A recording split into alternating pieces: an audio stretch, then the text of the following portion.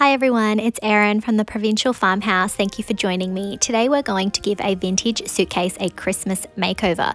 We're using Iron Orchid Designs Christmas Valley transfer and the letterpress stamp and also Roycycled neutral ticking decoupage paper. You can find a full product list in the description of this video and all your IOD and Dixie Belle needs on our website theprovincialfarmhouse.com.au.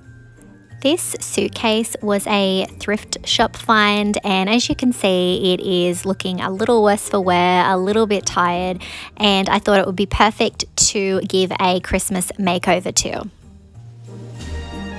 After cleaning my suitcase, I'm coming in with two coats of Dixie Belle's Endless Shore Silk Mineral Paint. This paint has a built-in stain blocker and also a built-in top coat. I thought that the stain blocker would be perfect for an old suitcase like this, just in case there was some stains that maybe I couldn't tell were there. But the colour is also perfect for going underneath decoupage paper. I'm applying this paint over the entire suitcase, over the hardware, over everything because honestly, it's a bit rusted and a little bit worse for wear, so the paint's only going to make it better. If you're going to do this project at home, you don't have to put it over everything. I just did for this project.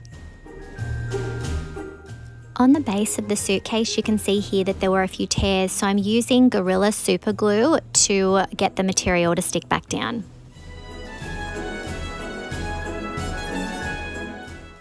Next, I'm measuring up my Roycycled neutral ticking decoupage paper. I'm just going to use my fingernail to very carefully mark out where I want to cut it. I'm just going to have a strip on the top for this project and I'm using scissors to trim it. Next, I'm marking out where the paper has to go around the little lock attachments. I'm using my fingernail to crease and then scissors to cut out the shape and just being very careful not to overcut.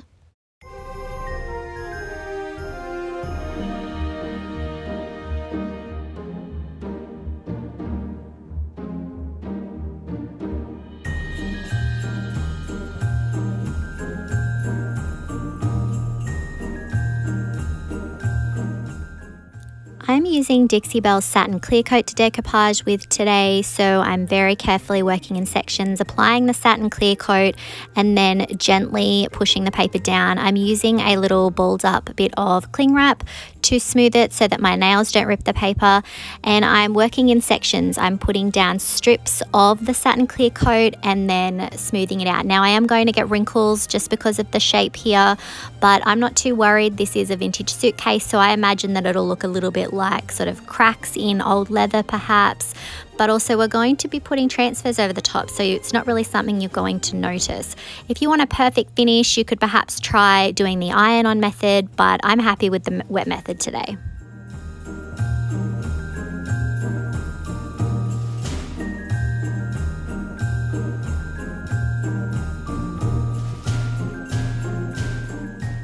Here you can see I've got a little bit of overlap with my paper, but I'm going to go in after it's dry and cut that off.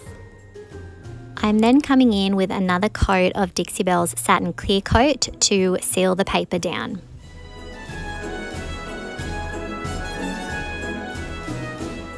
Now that the paper's dry, I'm very carefully using a little sharp knife to cut and tear the paper off. Next, we're using IOD's Christmas Valley transfer. There is eight pages of beautiful Christmas designs in this booklet. It's been very popular, sold out in a lot of places. But if you have this transfer, hopefully this is giving you some ideas. So I am just flicking through and working out what I'm going to use. I'm going to be using this little wreath here. You can see I've already had lots of fun. I've been doing lots of cutting out. I'm also going to be cutting out this cute little red house. And I'm just positioning it, seeing how I want it to lay. And then I'm I'm going to position my wreath down first and I'm just very carefully burnishing the design down, carefully lifting the plastic up as I go and working my way around. If there's any bits that I miss, I just carefully put that plastic back down and start rubbing again.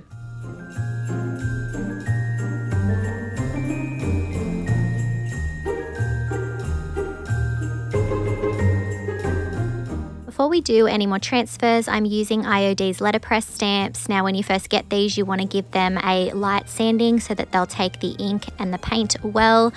I am going to be using the verse, I'll be home for Christmas on my suitcase. I thought that was very cute. So here I'm just plotting out the letters, seeing what kind of space I'm going to need and how I'm going to position it. Here you can see I'm just sort of playing, working it out. I decided to just work with one word at a time. I'm applying Dixie Belle's Anchor Silk Mineral Paint with a brayer and very carefully pressing my stamps down.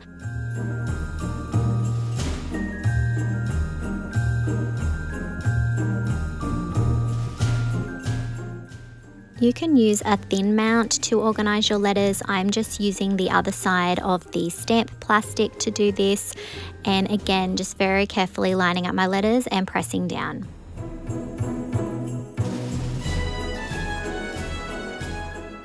Here some of the paint didn't transfer so I just added a bit more to the letter and individually carefully pressed them down.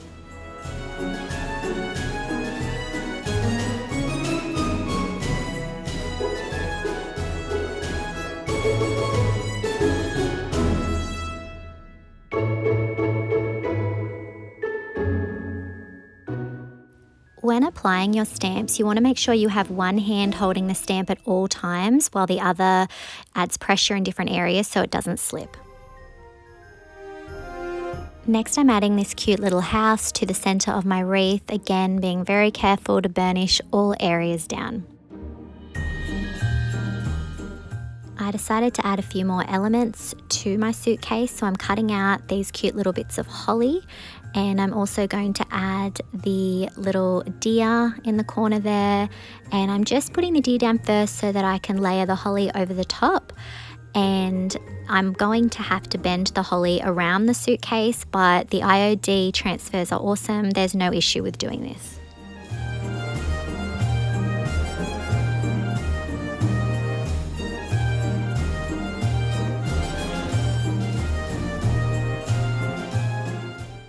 Next I'm adding a sweet little bird in the corner and again I'm going to put the bird down first, burnish that down and then layer the holly over the top.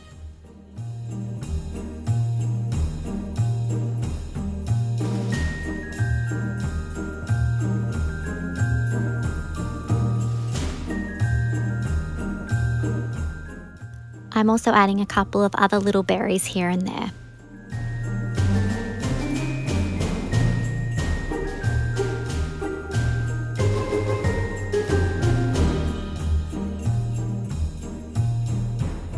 Now that I have all my transfers down, I'm going in with Dixie Belle Satin Clear Coat again to seal everything.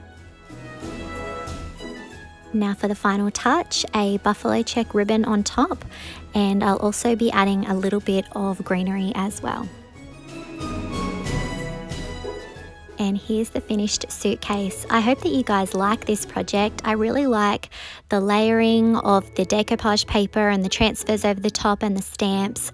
I think this would look lovely in someone's entryway decorated for Christmas.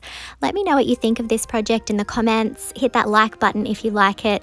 If you're not already, I'd love it if you could hit that subscribe button and the notification bell so that you don't miss out on any of our projects.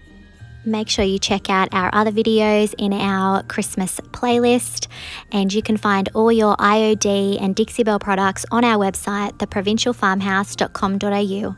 Thanks for watching.